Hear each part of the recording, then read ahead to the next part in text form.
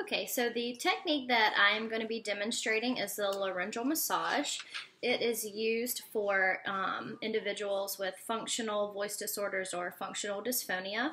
Um, their voice quality may sound a little hoarse, and this is to help relax the larynx and help improve their vocal quality. So, what you would do, um, the yawn sigh is attempted first before you move on to the laryngeal massage.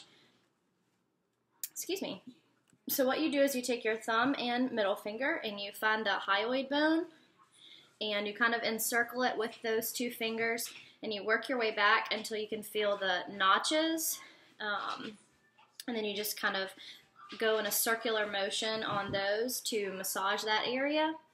Um, next, you would do the tips of the hyoid bone in the same um, same motion, same light pressure circular motions.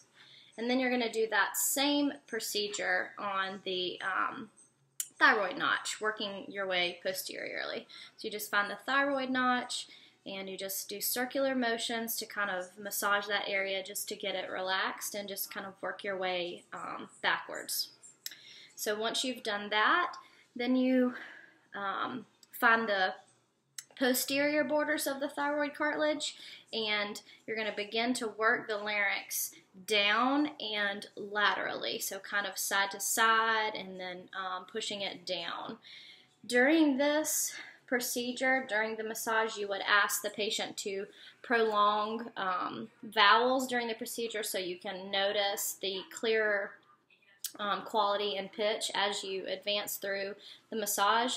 Um, the clearer vocal quality will indicate a release of tension. Um, but since his voice is normal, we won't be able to um, see the difference as you go through.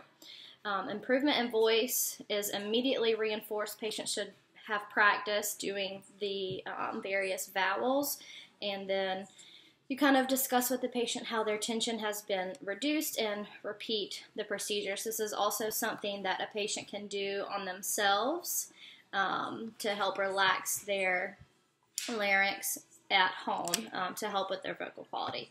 So that is the laryngeal massage.